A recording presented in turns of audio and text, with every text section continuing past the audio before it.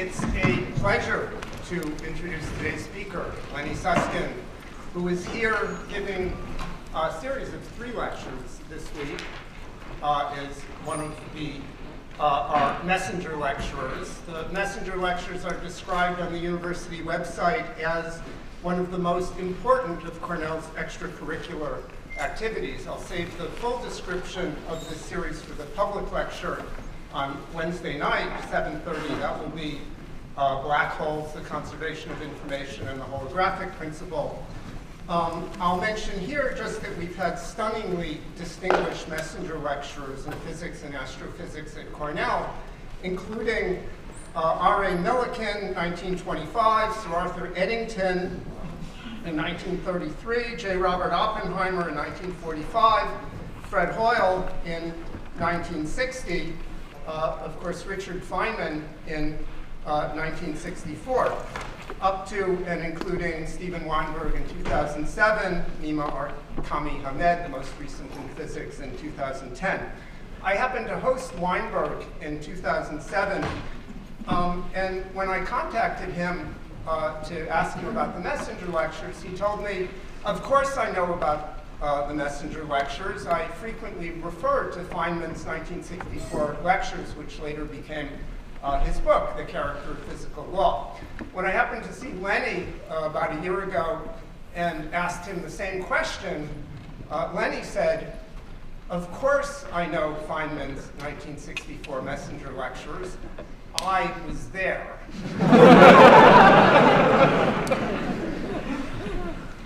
so Lenny was a graduate student here.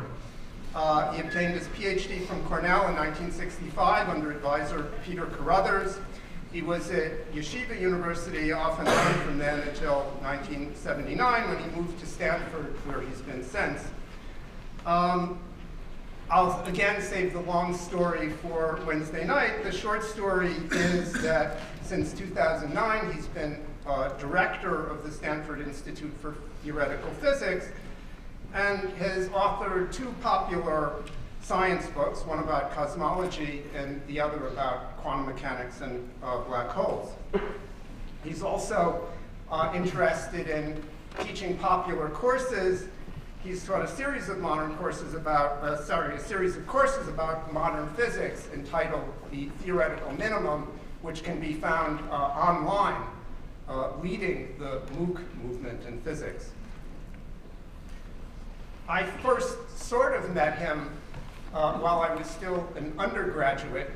Uh, he was uh, in 1976 giving a series of Loeb lectures on coarse grained quantum field theory. And I didn't attend those lectures. I didn't learn about lattice QCD until I came here as a graduate student.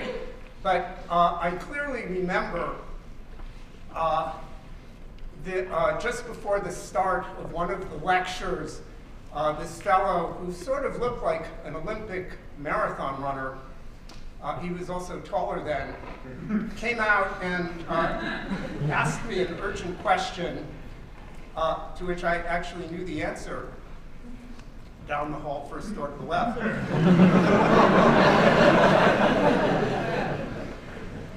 so as you'll see, uh, Lenny is the unique person to be giving this 50-year uh, follow-on to Feynman's lectures, uh, satisfying four specific criteria.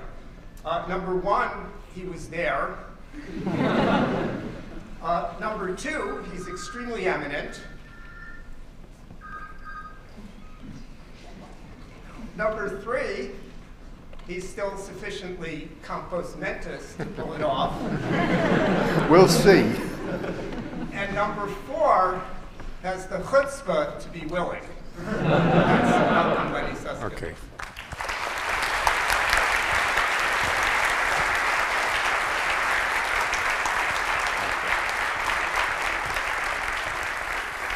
Thank you very much, Paul. Oh, yes. Hello, am I here? Ah, there we go. Can you hear me? No? okay. Um, Let me say uh, one thing to begin with. I really feel sorry and sad for all the young physicists in the world who will never get to meet Dick Feynman. He was a close friend of mine. I think the greatest inspiration that I ever had in my life was listening to the 1964 Messenger lectures. I never looked at them again. I couldn't. I said, once is all you ever want to do this particular thing. In fact, I always felt the same thing with, uh, with Dick. I never wanted to go back over the things I did with him. Uh, once was enough. Once was so unique and so exceptional that to see them again or to do them again or to just seemed um, something I didn't want to do. So I haven't looked at the Feynman lectures again. But um, I do remember, now I could be wrong about where I heard Feynman say this. I think, if my memory serves me right, it was in the first of the messenger lectures. I could be wrong, it could have been another lecture somewheres. But as I remember, Feynman once described theoretical physics as follows. First, you get an intuitive idea how, of how something works, how to explain something. Then you find equations to quantitatively express your idea. From the equations, you make calculations and predict something new, a new number or a new relationship. After that, somebody else, usually somebody else, goes out and does an experiment to test the prediction. And if enough predictions turn out to be right, then you've got a theory. If the idea covers enough different cases, the theory becomes a principle. This, of course, is correct, but I think it's not the whole story. There are other ways that theoretical physics progresses, or physics in general progresses. One I would call the Dirac way. I'm specifically interested in theoretical physics. Uh, one I would call the Dirac way. Dirac said look for beautiful equations. If an equation is beautiful enough, it will be right. well, maybe. It, did work for Dirac. Then there's the Einstein way. Sometimes principles, these things we call principles, collide. When two things both of which are so deeply rooted that we cannot conceive of either of them being false, but nevertheless, when taken together, seem to lead to contradiction, then we have a conflict of principles. It's when such conflicts are resolved that physics makes the greatest conceptual advances. My lectures are about three related conflicts of principle. I think it's fair to say that all have powerfully changed physics, even though not one of them has been completely resolved. Today, I will discuss Boltzmann's struggle with the second law of thermodynamics. On the one hand, entropy always increases. On the other hand, Newton's laws are reversible. We will come to what that means. The outcome of the struggle was profound. Entropy is hidden information. Boltzmann's insight deeply affected every area of science, but in the end, it did not solve the problem that Boltzmann originally set out to conquer. Why is there an arrow of time? Why does time go one way? What's different about the future than the past? I'm going to explain how modern developments in cosmology make this puzzle even more puzzling, and how they also suggest a solution. But be prepared to be very skeptical, We'll be driven to extremely remote ranges of time and space, way beyond anything we can hope to directly access. Nevertheless, the arrow of time is a fact of nature and deserves an explanation. So let me begin. Um, I will just comment that I think it's an absolute disgrace that a beautiful, wonderful room like this in which physics can be presented does not have a permanent blackboard. Had I known that when Paul asked me, I asked him explicitly, Paul, is there a blackboard in the room? And Paul said, Of course there's a blackboard in the room. He was lying to me. I don't know if I would have turned down the opportunity to give these lectures. I don't think I would have. I don't think I would have. But nevertheless, I have to say, I'm deeply saddened and disappointed by the lack of a blackboard in the lecture hall at Rockefeller Hall.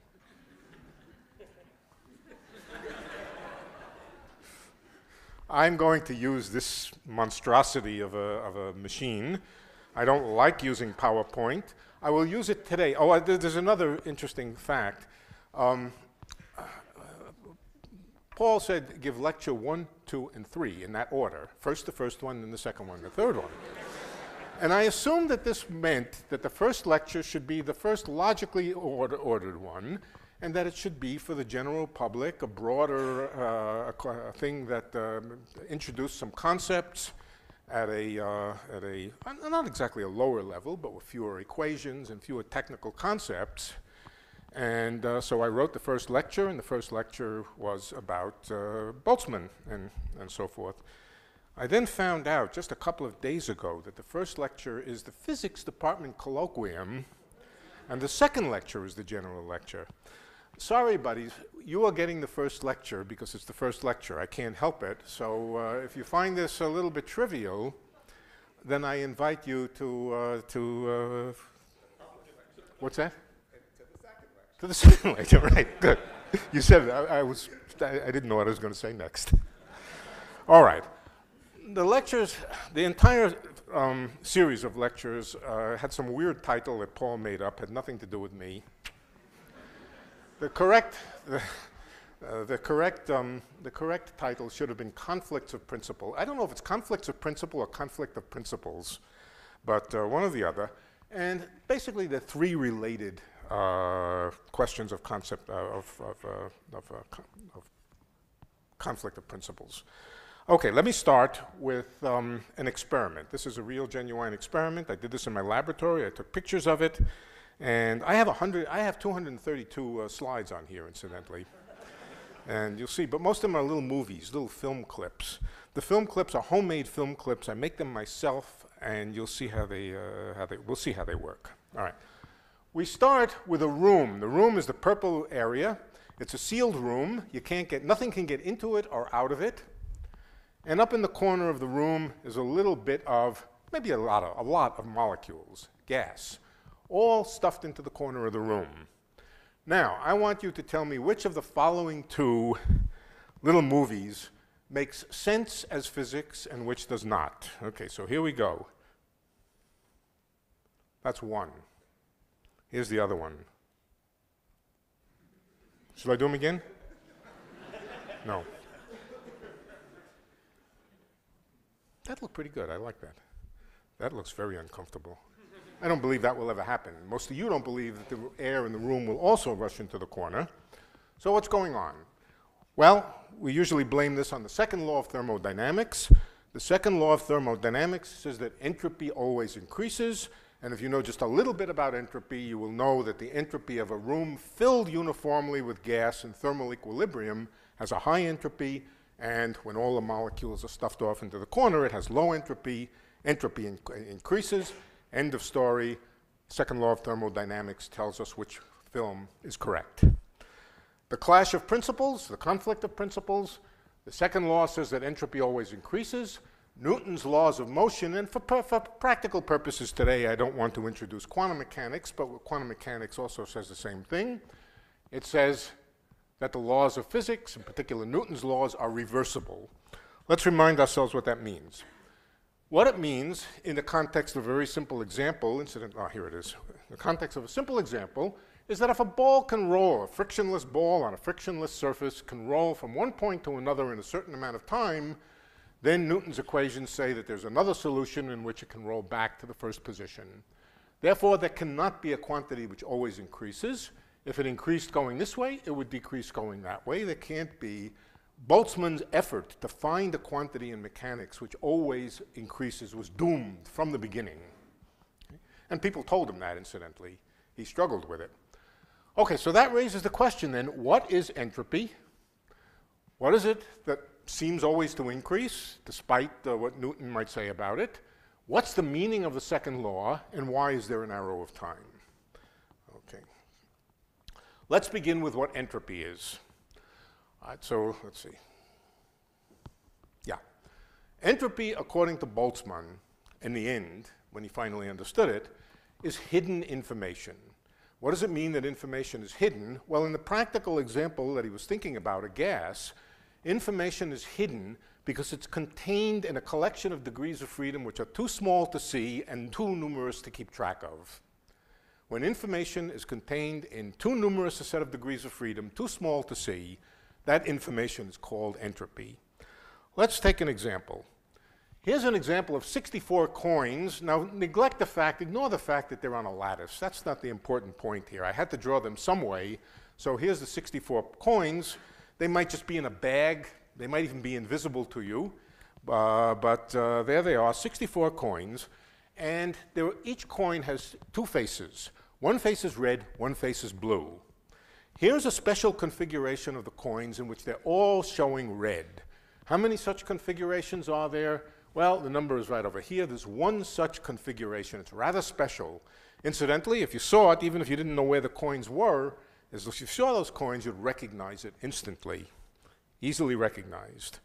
Here's a configuration with one blue coin. It's less unique. There are 64 of them. Let's just, here's another one. And there are 64 of them altogether. You might not so quickly recognize which was which if it was flashed in front of your eyes. 64 configurations with one flipped coin. How many with two flipped coins? Well, you can work it out. It's 64 times 63 over 2, and the answer is 2016. The numbers are going up fast, rather fast. Here's another one three coins. 41,664 configurations with three coins. I suspect if I flashed that at you pretty fast, you would not be able to tell me afterwards which three coins were, uh, were flipped, but maybe you could. Here's four. The number is six, better part of a million. 650, whatever. Uh, some large number. That's how many configurations. Notice they're going up really fast. How about if half the coins are red and half the coins are blue? This is a kind of generic situation. The numbers are vast. 2 times 10 to the 18th configurations. Supposing you were just to pick a configuration randomly, what would you be likely to pick? You would be very unlikely to pick one, you would be extremely unlikely to pick all reds. Picking them at random, you'd probably pick something like this just because there are so many configurations like this. The technical definition of entropy for an ensemble, a collection of states, for a collection of discrete states of a system, like the system of coins, is this, that the particular ensemble, it's a technical word ensemble, but it just means a collection of states that are somehow recognizable in some way, recognizable or not, is the logarithm of the number of configurations that satisfies a certain criterion. Okay? For example, the state uh, with one flipped coin, with no flipped coins, there's only one state, log 1 is 0, it has no entropy. And you go down, the entropies rise, not as fast as these numbers on the left, but the entropy goes up and eventually reaches a maximum. All right, now let's talk about something different. Let's talk about equations of motion. What is an equation of motion? An equation of motion is a rule for updating the state. Given the state, the equation of motion tells you what the state is in the next instant. Think of it that way. I'm imagining time is discrete, but that's not important. These four, the, sorry, these six boxes represent six different states. How many states are there of the 64 coins? Two to the 64. Too, too many to draw. I can't draw them all. So I've just drawn six. Why? Six is a nice uh, number. Okay, those are six states, but think of them as representing all the possible states of some system. Not the ensembles, but the individual states. What is an equation of motion? An equation of motion is simply a rule which tells you, given the state, what's the next state. 1 goes to 2, 2 goes to 5, 5 goes to 3, 3 goes to 6, 6 goes to 4, 4 goes back to 1. And what happens next? 1 goes to 2, 2 goes to 5, and so forth, and you cycle through these states. This is a typical example of a simple discrete equation of motion. It tells you how the system moves forward. In classical physics, it's completely deterministic. In quantum physics, a similar thing is true. It's called unitarity, but let's just take the, uh, the, um, uh, the classical version of it. Here's a law of physics, or a equation of motion, which is also deterministic. If you start with 1, you go to 2. If you start with 6, you go to 2. If you start with 5, you go to 2. That's deterministic. I can tell you exactly, exactly where you'll be after a certain number of steps. Something wrong with it. What's wrong with it? What's wrong with it is it's not reversible. If you know you're at 2 you can't tell where you came from. You can't retrodict. If you know you're at one, you didn't come from anywhere. You couldn't have come from anywhere, so this is what's an example of irreversible equation of motion. The laws of Newton and the laws of quantum mechanics and the laws of every physical system that we know at the very bottom of its description are reversible, all of them, and so equations like this are forbidden. Do we know why? Well, in some, in, in, some way we do know why, but I'm going to ask you to trust me that this is one of the things that the laws of physics as we know them require. What's the rule? The rule is that every box has one arrow in and one arrow out. An arrow to tell you where you were and an arrow to tell you where you'll be next. Okay. That's the sense in which information in classical physics and in quantum physics, if you work out the quantum analog of it, that information is never lost. You always know where you came from, you always know where you will go to, and there is no contraction into a smaller number of states so that you lose information. Incidentally, in classical physics, it's called Liouville's theorem. In quantum mechanics, it's called unitarity. Okay, let's now ask what an evolution would look like. Now, this is a made-up evolution. Uh, the, uh, I'm going to assume that as you go from one step to the next, not too many coins are flipped simultaneously. One, two, or three coins are flipped. All right, here it is. Now keep track of it because it's important to keep track of the sequence.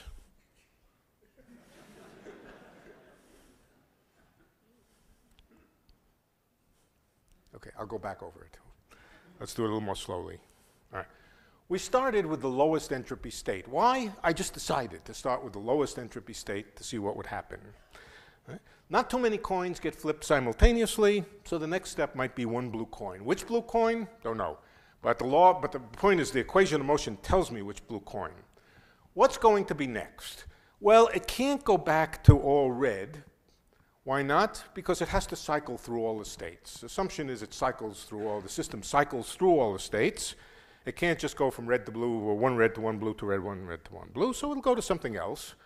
Uh, well, let's go back a minute. It might go to a, a single blue coin someplace else. But there are many, many fewer of those states than there are states with, let's say, two, three, or four flipped coins. Much more likely, just for that reason, that it will go perhaps to four flipped coins. Remember, that there's about a half a million, uh, more than a half a million configurations of that type. From here, it might go back to one coin, it might go back to three coins, but much more likely that it will go to more coins for the simple reason that there are more configurations like that. Right? And thus it goes. Once it gets to this point where the entropy is maximum, where it's almost half and half, give or take, it'll simply rattle around in similar states for a long, long time, for a very long time, much longer than we have to, uh, to run through this. But every so often, a fluctuation will happen, a Boltzmann fluctuation, a rare and unusual configuration will arise. Here's one with only three blue coins. What's the next one going to be? Maybe it's two blue coins. No, there were just so many more with four blue coins that it went to four blue coins. And so it goes. Ooh, that's getting interesting. That's an interesting, whoop, nah, didn't go anywheres. Oh, maybe we'll get back to the beginning. Not likely. And so we go, and so we go, and so we go. Ooh. Whoops. There's an interesting one. How do we get there? It has a star in it. Yeah, not a star, not an astronomical star, but it has a little star in it, one star. That's a really interesting configuration. How did it get there? Well, it got there randomly. It just accidentally got there. Remember, you have to cycle through everything. Not so surprising that you got something really rare and interesting, but it didn't get there for a interesting reason. It didn't get there for a reason which you uh, could explain by some inevitable law of physics that says that stars will emerge in some very, very specific and organized way. These, the example of a star that I just described is an example of a recurrence. You can call it a recurrence, a Poinc uh, more or less a Poincare recurrence. You can call it a Boltzmann fluctuation. You can call it a freak unexplained happening. They are a general property of finite systems Because the system is finite, it only has a finite number of states to cycle through. And so weird things will happen. Weird things will happen over and over again. And on top of that, they will vastly outnumber the normal histories. The normal histories are the ones that started with extremely low entropy.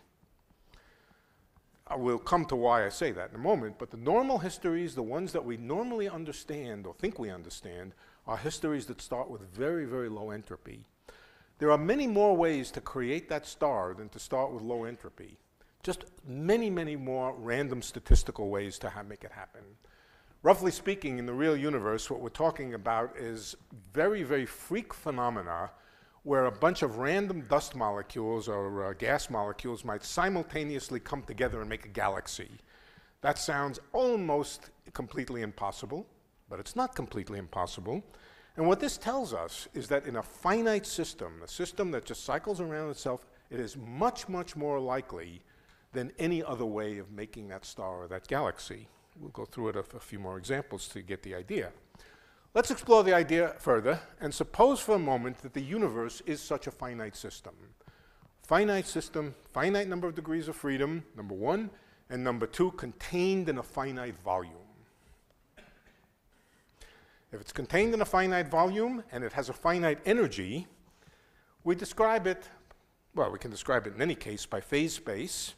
The configuration of space of states is not a series of six boxes, but it's a point in the phase space of some number of molecules, for example, 10 to the 10 to the 80th molecules or whatever, uh, whatever the right number is. And so it's described by a phase space, which is a plot of position and momentum and velocity. Now, to make it a finite system, let's assume that the positions of the molecules are bounded. They can only go between here and here, and that there's a brick wall here that prevents them from going any further. Furthermore, let's suppose that the energy of the system is finite. In that case, the momentum of the particles cannot exceed a certain amount. And so the whole thing is contained in a, uh, in a, in a box. Now, there's a region of phase space that's my target. By my target, I mean the thing I want to explain how we got there.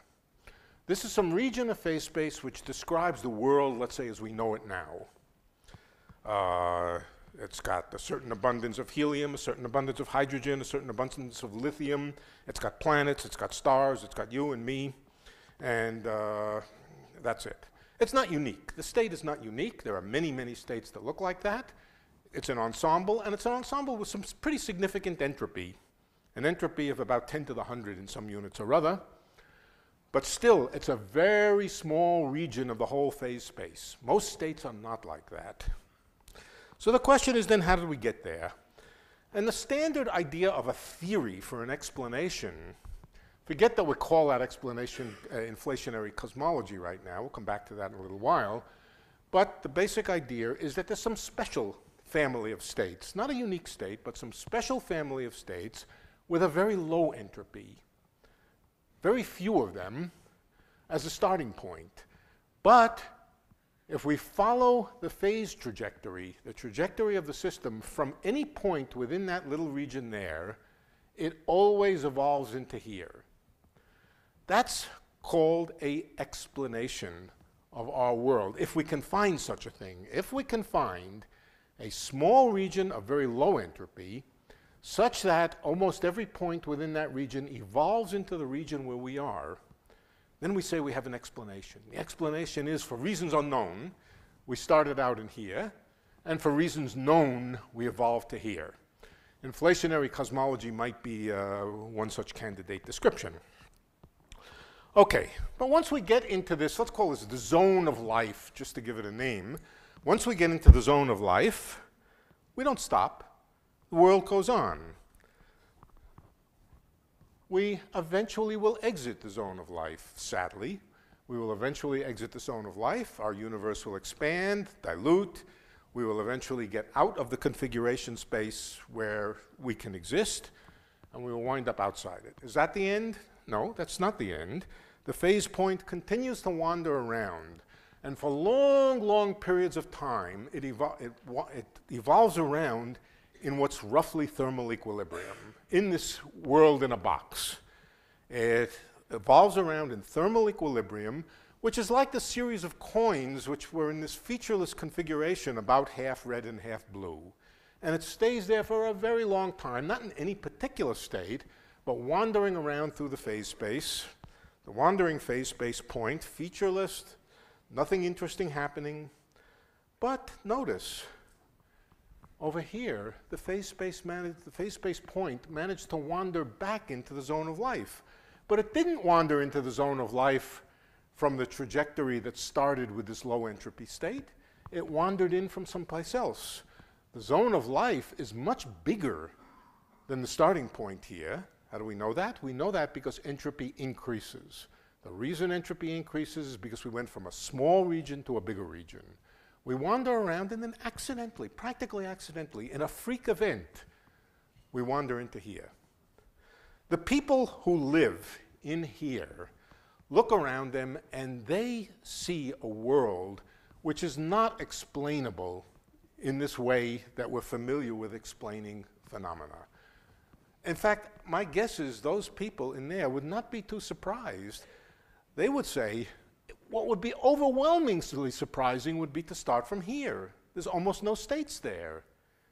We know what's happening. Our phase point is just wandering around, and every once in a while it wanders into the zone of life. If we wait even longer, we will find out that the phase point wanders in and out and in and out of the, of the region of life. Very, very rarely, much more rarely, does it actually evolve back through this point and wind up behaving in the way that we normally consider explainable. What I'm telling you is the thing that we normally consider ex explainable is the most outrageously unlikely of all possible ways of getting where we are. Why? Because it starts with a very, very low entropy state, and low entropy states are very rare. So in this world, in a box, what one should expect is that the typical example of life, the typical example of a world which would support life, would be what we would call a freak world. We don't live in a freak world. We know that inflationary cosmology back to some very low entropy starting point works. So there's something wrong with this picture of, uh, let me go back. There's something wrong Yeah, there's something wrong with this picture of living in a box. There are ways out. Maybe we don't live in a finite box. That would get us out of it, perhaps. The problem is that modern cosmology tells us that we do live in a, in a finite box. In a finite and, in a certain sense, ungrowing box. If the box grows, then you can get out of this problem. Okay, all evidence that we have about cosmology, experimental, observational, points to the idea that we do live in a finite box. The evidence that I'm talking about is the existence of a cosmological constant, sometimes called vacuum energy, sometimes called accelerated expansion, and most often called dark energy. They're all the same thing. So let me go through uh, in a few minutes what the arguments tell you, what the equations tell you a good fraction of you have seen this equation before. I'm curious, what percentage of people have seen this equation? Probably about uh, a third, I would say, something like that. So let me tell you what this equation is. This is called the Friedmann-Robertson-Walker equation. It's the equation for the expansion of the universe. A represents the radius of the universe at any time. When physicists put a dot on top of a variable, it means the time derivative of it. And the left-hand side is called the rate of expansion. The rate of expansion, a dot is the time derivative of the radius. Universe is expanding. A dot over A is finite, and this is called the rate of expansion. And the equation says that the rate of expansion is proportional to, forget this number here, this is a number. Uh, we'll set it equal to 1. In some units or other, it really is equal to 1, some Planckian units or some sort of units. It's equal to 1. This object is the energy density or the mass density in the universe. E equals mc squared, same thing. And what you can say about this energy density is at least the usual sources of energy, the usual types of energy density, particles, photons, all the usual things, let's call the particles matter. those have an energy density which decreases as the universe gets big. Why? Because it dilutes. Energy density dilutes as you, as you make the universe bigger. Same thing with radiation. Radiation dilutes even faster for a technical reason that I won't bother you with. But there is one form of energy. It's often called very mysterious. I think it's not so mysterious. It's called a cosmological constant or vacuum energy. It exists in the world. It exists in our equations. It exists in quantum field theory. It must exist, and it does exist. What's queer about it is how little of it exists.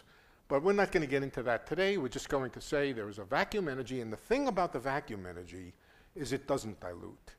You take a box of a certain amount of vacuum energy and you grow the box what happens is the density of vacuum energy stays the same. Now you can ask where the energy came from. that's another, that's another issue. It is understood, it's not mysterious, but there is a vacuum energy, and we know that it really exists. It's been measured astronomically. Here's the number. It's even bigger, it's, it's, it's very small, but it's actually bigger than the uh, density of ordinary material throughout space. That tells us that the Friedmann-Robertson-Walker equation just has a right-hand side, which is just a number. It doesn't change. You can solve this equation, a dot over a equals the square root of lambda, and the, and the solution is an exponentially growing universe. Now that doesn't look like a finite box of a certain size. That looks like a growing box. And with a growing box, you can get out of this problem of the Boltzmann fluctuations. But this is misleading. Let me show you, let me take you through the arguments about why this is misleading and what the, the equations really tell us. All right, first of all, the universe, the entire universe described by this theory is expanding exponentially. That means every point is moving away from every other point, moving away according to the Hubble law. And the thing that's exceptional about, about a cosmological constant is that the Hubble number here the relation between velocity and distance. This is velocity, distance from you. Here you are, right here. I'm also pretty close to there. And we're looking out at some distant thing. It's moving away from us because the universe is expanding. And how fast is it moving out? A velocity proportional to the distance away. The, the uh, coefficient here is called the Hubble constant. And the special thing about vacuum energy is that the Hubble constant is truly constant. It doesn't change with time. That's special. Now, this is a strange equation. If you think about it, what it says is if you go far enough away, where d times the square root of lambda is equal to the speed of light, there will be things moving away from you with the speed of light. Moreover, if you even go further out, they're moving faster than the speed of light. Trust me, this is okay. This is allowed. Things moving away faster than the speed of light, but you can't see them when they send signals back to you, the signals are also swept up and travel away from you. And so the result is that there is a certain radius called the horizon, the radius of the horizon, and for all practical purposes, everything that you can ever see, everything that you can ever know about is within that radius. That radius or that shell out at that distance is called your horizon. And it's very much like a black hole horizon, except looked at from the, in, not from the inside of the black hole, but it's as if there was a black hole on the outside that when things cross over into this neverland out beyond here, you'll never see them again.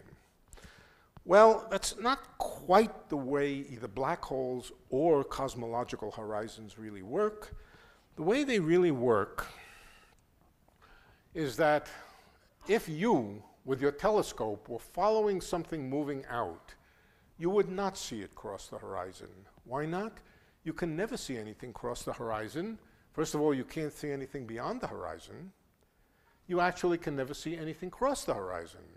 What you do see, or what your mathematics would tell you, is that as time goes on, the particles, the dust, the galaxies, asymptotically, within your horizon here, asymptotically approach the horizon, moving slower and slower and slower, freezing at the horizon. That's what the equations of general relativity say. Very much like a black hole. So here is what either what you would see through a telescope or what, um, or what mathematics would tell you. There's all your galaxies. How did they form? They formed perhaps by starting with some low entropy state and creating galaxies in the standard way, and they start to move out. They start to move out, and all the particles eventually arrive near the boundary, near the horizon, taking longer and longer and longer to get there. Let me draw a picture of one way of thinking about this. Think of all the particles in the universe being contained within this horizon, so they're within this region here, and there's a potential function, a potential function which looks like this. You're at the center here. You're exactly at the center, so you will neither fall off this way or this way, but something which is over here will start picking up steam and eventually fall down to here something over here will fall down to here. So if this region was filled up with particles, they will all fall down to here. They will all fall down to here. That's what's going on here. And from your perspective, within your telescope, you will see them simply freeze and congregate or pile up, pile up at the horizon. That's the mathematical description that general relativity tells us is what you would see. Now, if we add some quantum mechanics, now we have to add some quantum mechanics to go next. If we add some quantum mechanics, the main result of quantum mechanics is that a horizon like this cannot tolerate an infinite number of degrees of freedom or an infinite number of particles all piled up like that. And in fact, the pileup has a finite thickness. The finite thickness is proportional to h bar. Things cannot get that close. Rather, the pileup piles up at a distance which is comparable to a length called the Planck length. These particles pile up here, and because they've fallen down, they have some kinetic energy, and therefore they're hot. This system has temperature. That's a well understood feature of spaces of this type. They're called de Sitter spaces. De Sitter spaces have temperature, and all the thermal junk is out near the edge. That's your description of the world. Now, of course, every once in a while, because these particles are hot, once in a while one of them will get some extra energy and jump back up to the top. One particle, who cares about one particle? It might jump up to the top. Two particles might actually make it to the top, even rarer. So here's what we would expect to see as we follow this system. Particles, a few particles jump up, they fall back down, they jump up, they fall back down, they jump up. You can see why I have 180 slides. I think it's 230. This keeps happening over and over, but every once in a while, and except that this, when I say every once in a while, I mean a long while, every once in a while, the mathematics, in any case, tells us that there will be an exceptionally large number of particles that jump out of the horizon and congregate somewheres. A dust cloud is formed. A dust cloud is formed by no mechanism that you would recognize as a standard astronomical mechanism, by random fluctuation. That random fluctuation might collapse to form a black hole. That's a rather likely thing that it would do, and this process is well understood. It's been studied for many years the creation of black holes out of, um, out of de Sitter space. But before it forms a black hole, maybe it will not form a black hole, it might form a galaxy. The dust cloud. The dust cloud may then evolve into a galaxy. What would the people who live on that galaxy think? They would look out and they would say, gee, this is interesting. We are alone in the whole universe. Why would they be alone? Well, the probability of making one galaxy is incredibly small by random fluctuation. The probability of making two galaxies is vastly, vastly smaller. So the most likely thing is if you found yourself in a galaxy, you would say, ooh, a fluctuation happened, but the likelihood that a double fluctuation happened is negligible. So these people would not be all that surprised that they were alone if they understood the theory of fluctuations and if they believed that their birth was due to a random fluctuation. They would have a very nice theory of the world. So, lesson over very long time scales, everything happens. Freak events vastly outnumber the comprehensible, in quotes, histories, the ones which start with small entropy and go where we're going. And the reason that the comprehensible or normal histories are so overwhelmed by the other ones is that they, be, they originate from low entropy configurations, which are the most unlikely. Something is clearly wrong with this picture. We did evolve out of a, um, out of a uh, inflating early low entropy state.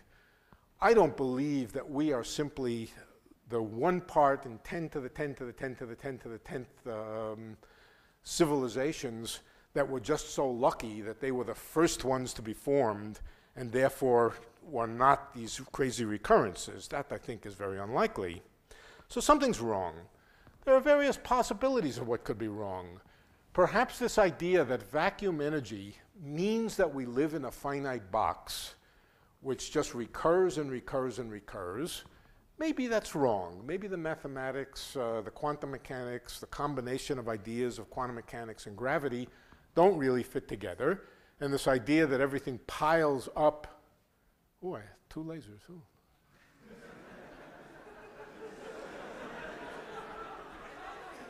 Wait, wait, look, look. One of them is behind the other. All right, this idea of pile up here, maybe that's wrong. Maybe the use of thermodynamics is wrong on top of everything else, the time scales that we're talking about are truly vast, exponentially, exponentially large. Can we trust anything about such enormous time scales? Aren't we being a little bit, uh, jumping ahead of the game a little bit by assuming that we know how physics works for 10 to the 10 to the 10 to the 10th years? Of course we're jumping ahead. Uh, something unexpected may happen in between. But that's just the point.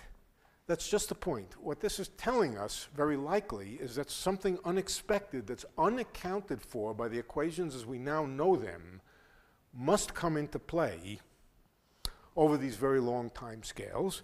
And what kind of thing might it be?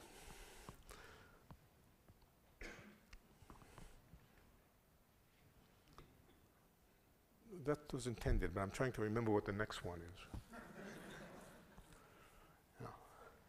Okay, let me, let me go through. I, that didn't help. Ah, there it is. Here is the standard theory of the evolution of the universe. This is inflationary theory. Inflation is the theory which was confirmed over the last uh, few months by this famous experiment which just took place, the BICEP 2 experiment.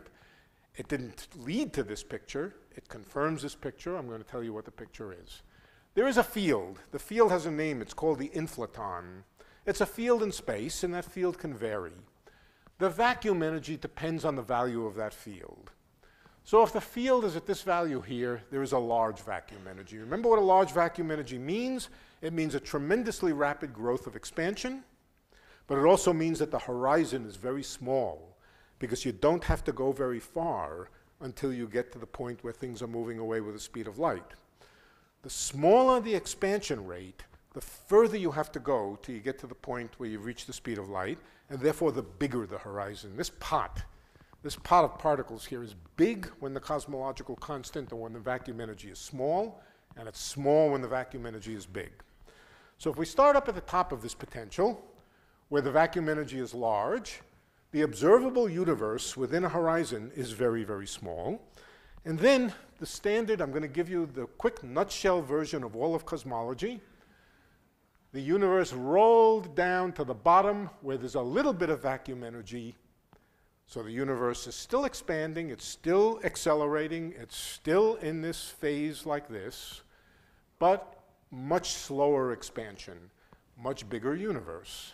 But it's stuck there. What happens when it gets down to here? Incidentally, Everything interesting that happened in the universe happened on the way down here, while it was out of equilibrium, including us. We're somewheres down near the bottom, but we're not really at the bottom yet.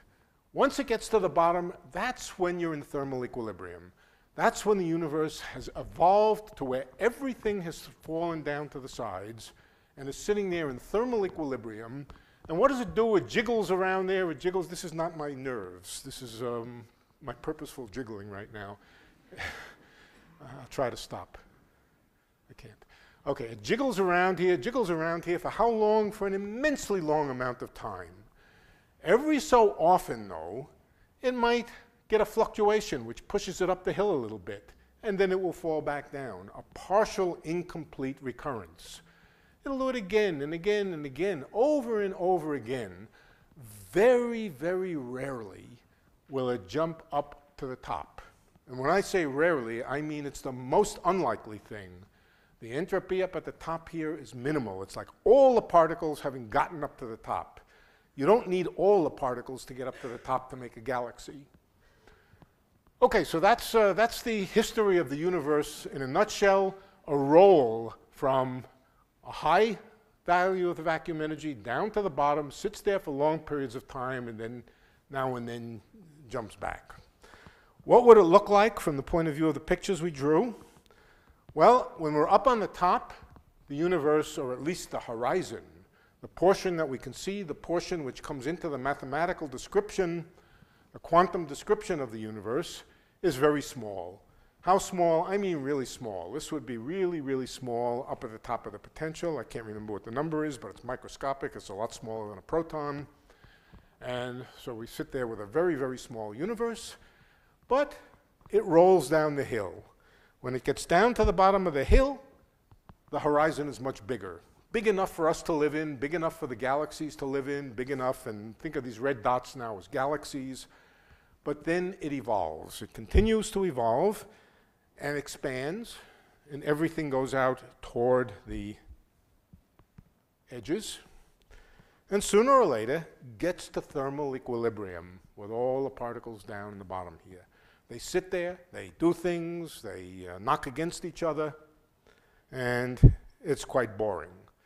Nevertheless, every once in a while, a few particles might jump up out and then fall back in. Still boring. But, again, with a very, very low rate, a dust cloud may form. Dust cloud may form, make a black hole, or it may make a galaxy. I'm repeating, uh, I didn't make these new, these are the same ones again. and then evaporate back to nothingness again. This is the picture that we are now stuck with over and over again, the vast majority of observers are these freaks. The freaks who occur for no good reason other than random things happen. They vastly, vastly outweigh the number of times that the universe jumps up to the top. Where's the top? The top is gone. This is where we are. We're stuck there. We're stuck there with a theory which tells us that the vast, overwhelming majority of civilizations their physicists will correctly have a theory that says that they were born at a random fluctuation. They will not be surprised to find themselves alone in the world, and they would consider what we see, or at least an attempt to describe the universe the way we describe it, as deeply, deeply misguided. We don't expect crazy fluctuations, and the craziest fluctuation would be back all the ways up to the top. Something's wrong. Now, one thing that might be wrong, I rather think it is what is wrong, is that this phase space box is not really closed and sealed. Imagine it had a little hole in it. The hole cannot be arbitrarily small for it to do its work, but imagine that there was a hole in the side of the box so that the universe phase point could leak out of the box. Then the history would be you start, I mean, we still don't understand why we started here. We still don't understand, but uh, let's take it for granted that the cosmologists are right and we did start here. What will happen is we will go into the zone of life, then eventually we will leave it. We will rattle around a few times, maybe many times, and then find the way out of the box. Once you're out of the box, finished. Once you're out of the box, assuming the rest is infinite, assuming the rest is infinite, you will not come back into the box. The likelihood of coming back into the box altogether over the infinite range of time beyond that time is negligible. And so once you're out, you're out. You will not recur again. If the box was open like this, and we started, let's imagine a Gedanken experiment where uh, we, maybe not we, maybe somebody else, starts a sequence of universes, starts one here and follows it, starts another one, follows it. The overwhelming majority of them now will pass through the zone of life only once. Therefore, the overwhelming number of observers will see a world which is consistent with being traced back to this very early low entropy state. Do the equations support this view? Yes, actually they do. Remember I drew that picture of the potential? Well, I'm not, I'm not the world's biggest believer in string theory, although I did have something to do with it, but I'm not. But nevertheless, string theory tells us something, and the thing might be much broader and uh, more uh, general in string theory. What it says is that there's always a way out of this minimum here. There are always vacuums. In the technical jargon, there are vacuums with zero cosmological constant. They're supersymmetric. Doesn't matter what you call them, they are configurations where when you leak out of here, you jump around, you jump around here, and every so often you go over the top and you leak out here. When you leak out there, you do not come back. There's no way back after that. Why? Because these things have zero vacuum energy, and zero vacuum energy means infinitely big horizon. You've leaked out to infinity. If this is true, it would be a way out. It would not explain why we start in a particular configuration, but would get us out of this trap of the recurrent nightmare of, uh, of Boltzmann fluctuations. Um, the world would look something like this then, or the evolution. You would start small, up on the top of the potential. You would fall down to the bottom, get bigger. You would then tunnel through uh, to the other side and simply get big and end of story. You get one shot. It's a one-shot universe where you get one chance to have life in it, and after that, finished. Um, what I, am essentially finished. That is a possible explanation of what's going on. As I said, I don't expect you, nor do I think that you should be unskeptical about everything I said. I think you should be skeptical about it. We have very little chance of extrapolating that far correctly. This is what current theory is pushing us toward. Will surprises come in between now and the time of recurrences or whatever time it will take for people to get these things straight? I rather suspect surprises will happen. But nevertheless, let me just leave you with a statement that I deeply believe. I said it before the arrow of time is a fact of nature and needs an explanation. Thank you.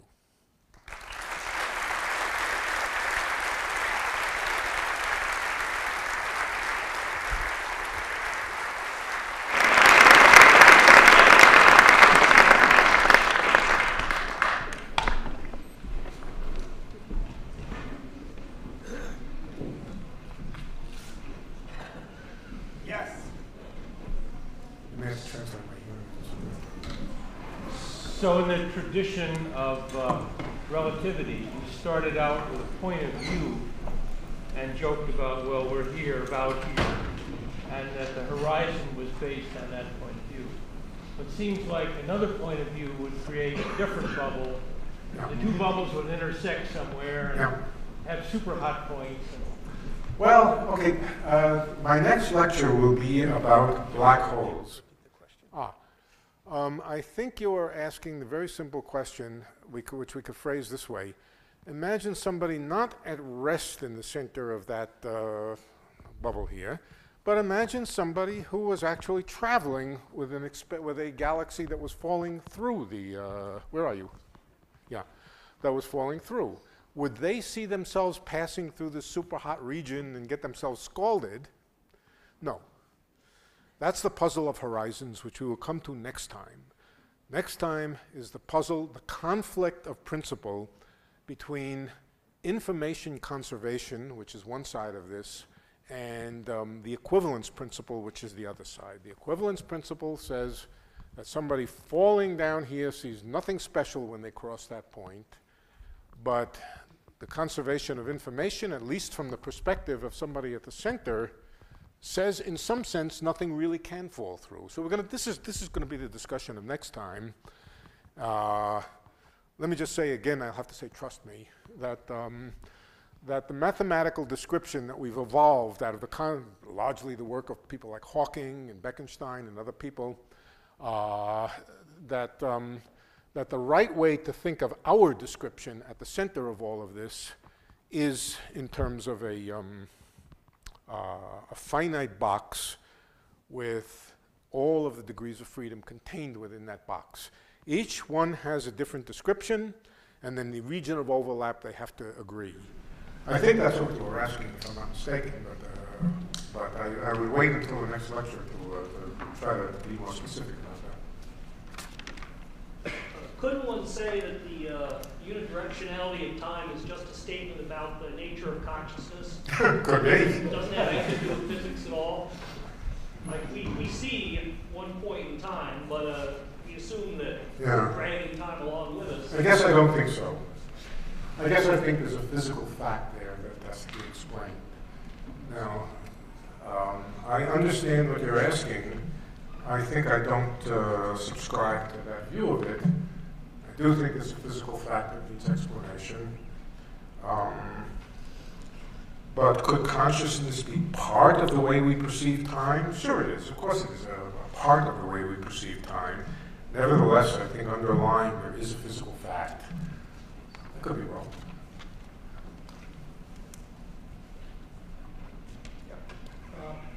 An individual particle then does or does not have an arrow of time. You just have one particle in the box. And so Yeah. it looks like the arrow of time comes from statistical mechanics. Yes, it does. And in fact, I think the way, uh, the way Boltzmann finally formulated it is not that the entropy always increases. Whatever configuration you find yourself in, the next configuration is most likely to have a larger entropy. But it's also true that if you just find yourself at a random point among these configurations, the previous configuration also was most likely to have a larger entropy. So it does come, always this term, most likely. The idea that entropy always increases was misguided, as, as Boltzmann eventually discovered. And that the right statement, you might say, is that um, entropy almost always increases. Uh, so, uh, does that does that address what you were asking? Yeah, close. That's, that's better than nothing. Yeah. You didn't, you didn't pay much to get in here, so what the hell? I mean, So I guess there's folks in the audience that take a Bayesian interpretation to quantum mechanics, and they provide a uh, alternative interpretation for the direction of time having to do with updating prior information or something like that. I don't quite understand it all. Me neither. What if you care to comment? no. I, I, I don't know, no. As I said, I think there's a physical fact there that needs explanation. I want to ask kind of a similar question. Do you actually have any evidence that time is continuous? That it's continuous, no. No, I, I, I think there is always a level at which it could be discrete and we wouldn't notice it. I don't think anything I said really depends on, uh, on the discreteness or continuity of time. The pictures that I drew of evolution were discrete. Okay. Um, the basic set of ideas were a sort of summary of the logic of classical mechanics. In classical mechanics, it's not discrete upgrading, it's, uh, it's um, uh, updating, it's solving differential equations, but the idea of one arrow in and one arrow out becomes what is called Liouville's theorem in classical mechanics. So you, know what that is, you will recognize what I said. If not, will you get to it when you learn classical mechanics? So just so that we don't leave people concerned, as a final question, um, you suggested there might be a tunneling to some Oh, zero yeah. cosmological. Yeah, I, I, I jumped, yeah, I, uh, Do you want to uh, oh, just allay people's concerns and estimate the timescale for that? Before I, before I allay your concerns, before I allay your concerns, um, let me uh, make you more worried. jumping to a zero cosmological constant is not an innocent thing. It's true, if the cosmological constant, if, if that's all that happened and the cosmological constant suddenly became zero, I don't think it would affect us very much. But you're jumping over this barrier to something new, to a place where the, where the parameters of physics are different, where everything is different.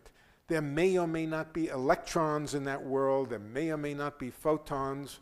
In other words, physics, the properties of a physical world would be very, very different. In addition to the cosmological constant being different, everything would be different. In other words, it could well be a world in which atoms don't exist. So that's the bad news. The good news is that such events are exponentially unlikely. Um, the, let's see, where was it? Where was the picture? Let me redraw the picture over here. We picture, and then we dump this, and then we did that. The time scale for the penetration through here is very, very sensitive to the parameters of this bump. It's all, it's typically exponentially long times, but it's 10 billion years exponentially long? Yeah, it's exponentially in something, namely the log of 10 billion. So, uh, so there's no good reason why it couldn't happen tomorrow. But if you take some simple, reasonable parameters for this coming out of various kinds of particle physics uh, frameworks, you might expect that the time scales are much, much longer than the age of the universe. Um, but you know, uh, I don't think anybody has a uh, precise theory of this. Could it be tomorrow? Yeah. I don't think so. Not, not, not tomorrow, but next lecture is Wednesday night. Unless it happens between now and tomorrow.